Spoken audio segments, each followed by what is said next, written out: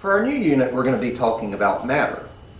And we're going to begin by actually talking about what matter is. It's a term that we use a lot in science, but it's important to understand exactly what we mean if we say we have matter. And if we look at everything on our planet, everything in the universe, it's going to be made up of either matter or energy. And energy, of course, would be the things like light, heat, sound.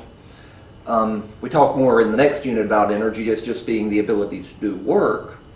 But matter is basically all the things that we can, you know, physically touch and manipulate. And all the matter and energy in the universe is kind of at a constant amount. We can't create it, we can't destroy it. But matter and energy can constantly and is constantly being changed, manipulated, and transformed. So when we actually talk about matter, we're simply talking about anything that has mass and takes up space. That's kind of the most concise definition of matter, is these two properties, having mass and occupying space. So when we talk about mass, we're actually just talking about the amount of matter that's in an object.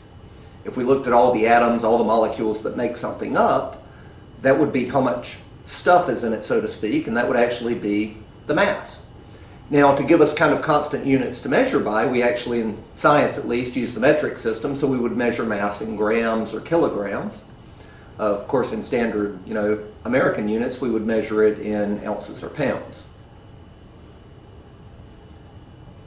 Volume, on the other hand, actually describes that second property, the amount of space that matter takes up. So the larger an object is, the larger its volume, the smaller an object is, the smaller its volume. And we can measure volume for any material, whether it be a solid, a liquid, or a gas. Of course, solid objects, we would use the measurement of cubic centimeters. Um, liquid, when we measure it, we might use a graduated cylinder and measure in milliliters. Now, there are three commonly occurring states of matter, and basically these are just different forms that a substance can exist in. And the first is a solid, that means the molecules are packed tightly together. And they're packed so tightly that a solid object will actually have a fixed shape.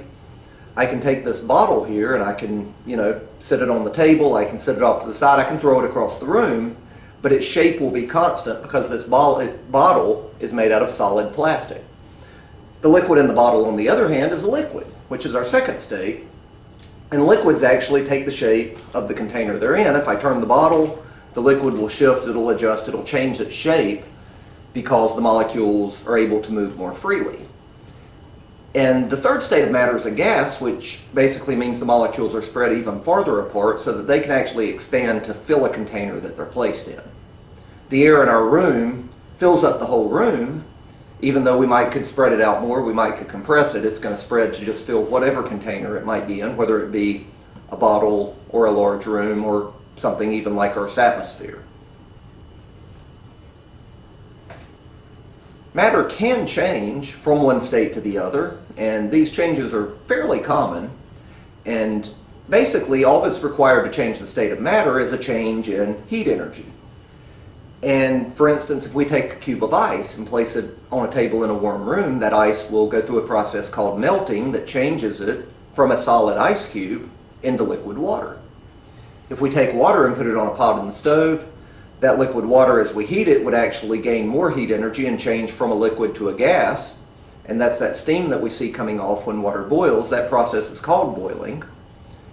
Gases that cool can change to a liquid through the process of condensation. And liquids, for instance, if we take a cup of water and put it in the freezer, it's going to freeze into solid ice. So that's this idea of changes in matter, changes in state occurring as a result of changes in temperature.